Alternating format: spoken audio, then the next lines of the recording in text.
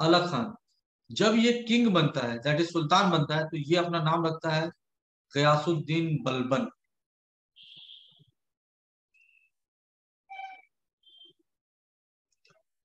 गयासुद्दीन बलबन। और हिस्ट्री में हम लोग इसको बलबन के नाम से जानते हैं। इसका पीरियड था 1266 से लेकर 1287 तक। ऑलमोस्ट 20 साल का पीरियड है। कहीं 86 रहता है, कहीं 87 रहता है। बलबन काफ़ी बूढ़ा हो चुका था। जब वो राजा बनता है। इसका एक्चुअल नेम ओरिजिनल नेम था। ये भी एक बार एग्ज़ाम में पूछा हुआ है। डब्ल्यू में नहीं पूछा है। शायद एसएससी में पूछा था, लेकिन मैं आपको फिर भी बता दे रहा हूँ। इसका असल नेम था बहाउद्दीन। जब ये अल्तुमश के वक्त में तो नोबल फोर्टीज में था तो इसने अपना नाम रखा था अलग खान। जब राजा बना तो इसने अपना नाम रख लिया, गयासुद्दीन बलबन। इस बलबन ने समझदारी से काम लिया। क्योंकि इसके पास एक्सपीरियंस यहाँ पीएम का था, सारा एडमिनिस्ट्रेशन कर रहा था तो इसको बहुत मुश्किल नहीं हुआ दिल्ली के तख्त पर बैठने पे। बट इसके वक्त में प्रॉब्लम ये रही कि तब तक ये जो 20 साल का पीरियड कर था, इसमें वो जो दिल्ली का तख्त जिसको मज़बूत करना था, वो मज़बूत नहीं होकर कमज़ोर हो जाता। और इस वक्त मंगोल्स को एक रास्ता मिल जाता है, को इंडिया में अटैक करने के लिए सोचे। ये अटैक बहुत दिन से वो लोग प्लान कर रहा था बट कर नहीं पाया था। ग्यासुद्दीन बलबन के वक्त में ये अटैक हो जाता है। होता क्या एक्चुअली इंडिया के बॉर्डर तक ही अटैक रहता है। इंडिया में प्रॉपरली वो लोग इंटर नहीं करता है, क्योंकि इस वक्त तक डर रहता है। बलबन को इस बात का डर था कि अगर हम कुछ स्ट्रॉन्ग मेजर नहीं लेंगे तो ये जो डर है ना, ये एक दिन टूटेगा और ये इंडिया में एंटर करेगा और सबसे पहले ये हमारे किंगडम को लॉस करेगा, क्योंकि ये जब एंटर करेगा तो दिल्ली पे ही अटैक करेगा, पंजाब और दिल्ली पे। नतीजा ये हुआ कि फ्रंटियर इलाके में फ्रंटियर इलाके में इसने फोर्ट्स बनाने शुरू किए जहाँ जहाँ ज़रूरी पड़ी। और इस फोर्ट्स के जो किलादार बनाया, इसका एक बहुत स्ट्रॉन्ग जनरल था, जिसका नाम था शेर खान। सुंगुर। प्रॉब्लम ये रहती है कि शेर खान सुंगुर की मौत हो जाती है, ये मंगोल अटैक्स के वक्त में। मंगोल उस वक्त सिर्फ़ लूट मार के लिए इंडिया आता है। इंडिया पे उसको कोई बहुत अंदर तक नहीं, कि हम आएँगे और बहुत भयंकर लूटेंगे और इंडिया पे राज करेंगे, अपने टेरिटरी में जोड़ेंगे। इस वक्त में वो कामयाब नहीं हो पाता है, क्योंकि ये फोर्ट्स वगैरह बन गया होता है।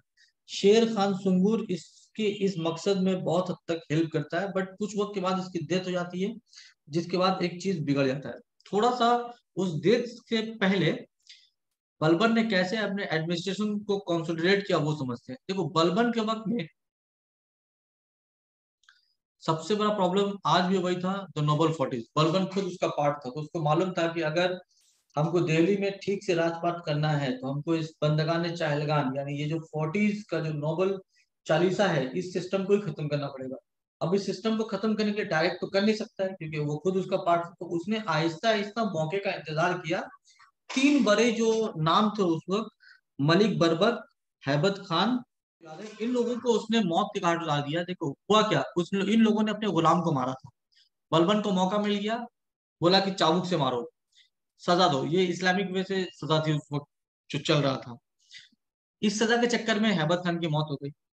जब सॉरी मलिक बरबक की मौत हो गई। जब हैबत खान ने अपने गुलाम को मारा तो उसने उसको मरवा दिया, बोला, जान का बदला जान। और वो जो गुलाम मरा उसकी वाइफ को, उस जमाने में बीस हज़ार पॉइंट बीस हज़ार टन का जो है वो एज ए कॉम्पेंसेशन दिलवाया था। ये दिलाने का सिंपल मकसद था कि ये लोग या तो मर जाए या बैंक हो जाए या फिर डर जाए और बलबन के अगेंस्ट में आके खड़ा होना बंद कर दे। और यही हुआ बलबन के अगेंस्ट में आके कोई भी खड़ा नहीं हो पाया। आहिस्ता आहिस्ता बलबन इस चीज़ से बच गया तो अपने एडमिनिस्ट्रेशन पे आ, वो पूरा ज़ोर देना शुरू किया। एक स्ट्रॉन्ग एस्पियोनेज सिस्टम स्टार्ट किया। स्पिनियस सिस्टम मतलब जासूसी स्पाई सिस्टम कि हर रोज राजा के पास खबर मिलनी चाहिए। ठीक है? I blood and iron policy बोलते हैं इसको। कहा गया ब्लड एंड आयरन पॉलिसी और इसने बोला कि जो मौलवी मुल्ला है ना, ये एडमिनिस्ट्रेशन से दूर रहे। इसने बोला कि अगर हमको दिल्ली पे कंट्रोल करना है दैट इज़ अपने राजपथ पे कंट्रोल करना है तो हमको एक ऐसा वेपन यूज़ करना पड़ेगा जिसके तहत सब चुप हो जाए। तो इसने खुद को बोला कि I am the deputy of God on the earth कि ज़मीन पे खुदा का जो नायब है, वो हम है, और मेरा नाम होगा नियाबत।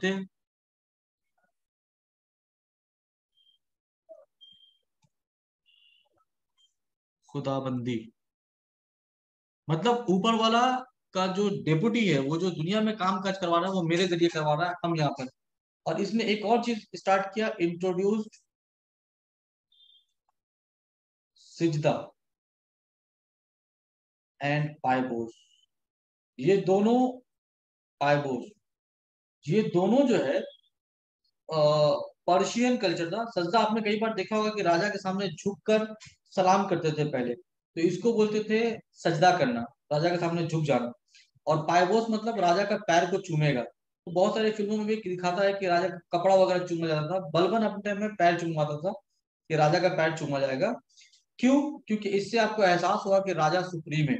ये सिर्फ़ अपना कॉन्फिडेंशन स्ट्रॉन्ग करने के लिए सारे सिस्टम को स्टार्ट किया। इतना सख्त था अपने एडमिनिस्ट्रेशन में बलबन कि उसने बोल दिया था कि मेरे दरबार में कोई हंसेगा नहीं और उसने अपने दरबार में हंसना बैन करा दिया था।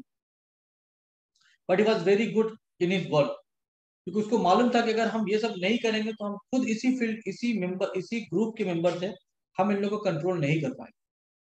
बहरहाल कंट्रोल करता है। नतीजा ये होता है कि ये अंदर से तो ये मज़बूत हो जाता है, वो इसके खिलाफ इंटरनल रिवोल्ट करने की हिम्मत नहीं रखता है, लेकिन मंगोल का अटैक होना बाकी रहता है। और अब यहाँ होता है Mongol attack the last nail Mongol attack यहाँ पे मंगोल दोबारा इंडिया में अटैक करने का हिसाब लगाते हैं।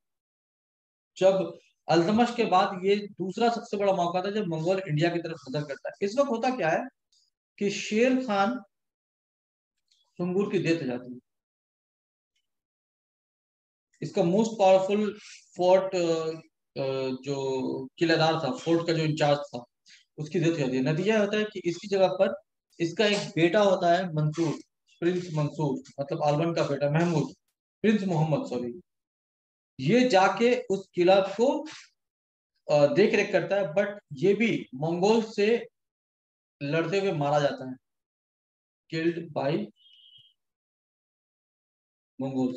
इस चीज़ से बलबन इतना ज़्यादा सदमा में आता है कि एक साल के बाद ही बलबन की मौत हो जाती है। बलबन की डेथ के बाद बैक टू बैक तीन राजा बनते हैं। एक बन कै खुसरू फिर कैकोबाद और कैमूर। तो अपने को सिर्फ़ याद रखना है। कैकोबाद और इसके बाद लास्ट रूलर्स ठीक है?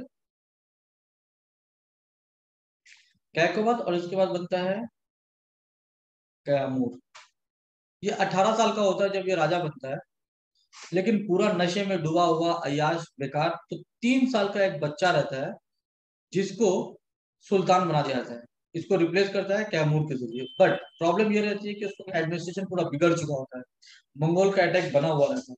तो नतीजा ये होता है कि जो दिल्ली के अवाम थे और जो नोबल्स थे, इन लोगों ने उस वक्त का एक लीडर था जिसका नाम था जलालुद्दीन खिलजी। उसको अप्रोच करता है। अप्रोच क्यों होता है? कोर्ट में चलता है दो ग्रुप सुल्तान के कोर्ट में एक चलता है